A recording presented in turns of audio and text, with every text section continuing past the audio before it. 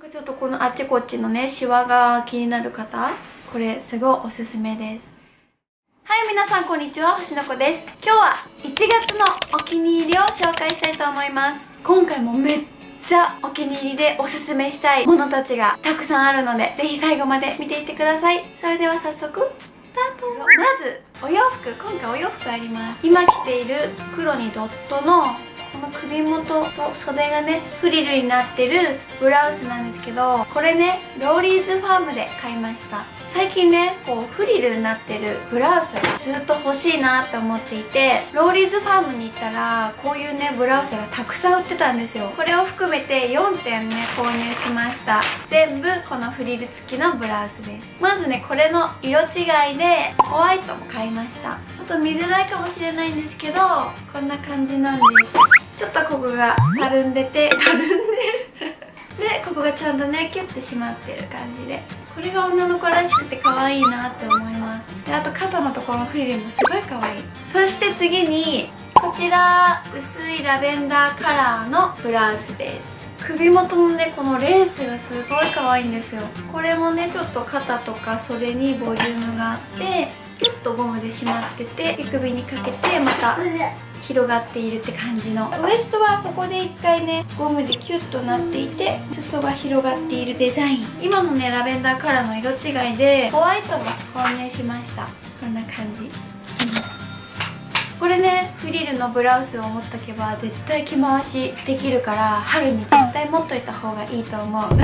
お洋服は以上でスキンケア類。まずこれはすっごいおすすめしたいの。これがここ最近の中の一番のお気に入りのものでクリーム状美容液なんですけどこれは目元とかこうほうれい線とか気になるね顔のシワの部分とか張りがないなとかちょっとたるみがあるなっていうところに部分的に塗る美容液なんですけどここになんかちょっと不気味なシワができる時があるんですよ。でも何か対策しなきゃいけないと思って今までこう部分用のクリームなんて塗らなかったんですけどこの度デビューしました。これを使い続けて1ヶ月ぐらい経つんですけどもうねびっくりした。ここのシワが気にならなくなったし笑いじわっていうのかな私はほうれい線だと思ってるんですけどこのねシワが彫りがどんどんどんどん深くなっちゃってすごい気になってたんですけどそこのこのここの張りが気にならなくなった。なんか徐々に気にならなくなったってよりかはすぐに気にならなくなった。すごい効果が出てるんだなと思ってなんかちょっとこのあっちこっちのねシワが気になる方これすごいおすすめです。さすが資生堂です。そして次がこちらレチノタイムのリンクルリップエッセンス唇用美容液です。これは結構前の動画でドラッグストアの、ね、購入品で紹介してたんですけどやっと最近使うようになったんですけどこう唇のアイチエイジングをしてくれる美容液なんですけどそういうのってなかなかこう買おうと思ったことなかったなと思ってパッと見た瞬間すぐ買ったんですけどこういう感じのねチップになっててまあほんとグロスみたいな感じですよね。唇に塗ってもすごいぽってりとするんですよ。で結構濃密。濃密なトロトロした液。で私はこれを寝る前につけてます。そうすると朝ねびっくりするぐらいぽってりとした唇になります。最近なんかコメントで縦じわが変だよってねあのー、ちょこちょこ言われることがあって気にしてるんですけどあのねなんかこう荒れてるわけじゃないんですよ。ただねこう私の唇ってあしおれてるんだなって思ってちょっとそうならないようにやっぱ唇のケア大事だなと思って最近すごく使ってます。こう張りが出るとかまではわからないんだけど口紅のノリは良くなりましたで荒れづらくなった。てか荒れてないね最近そういえば。うん荒れてない。そして次コスメ。コスメの中で一番感動的だったものが一つあります。こちらレブロンから出ているユース FX フィルブラーのプライマー。メイクアップベースですね。これねキャップを開けるとこんな感じでここが点々点々ってなっていてこの後ろをピューって押すとピューってこんな感じで出てきます。ここがねなんかプニュプニュとしたシリコンになっているのでこの部分を肌にこうやって当ててこれをね塗っていくんですけどこれは何にいいのかって言ったらあの毛穴とかさっき言ったこのほうれい線のこう溝とかが気になってるところにこれを塗るとそれがカバーされて目立たなくなるっていうプライマーなんですよ。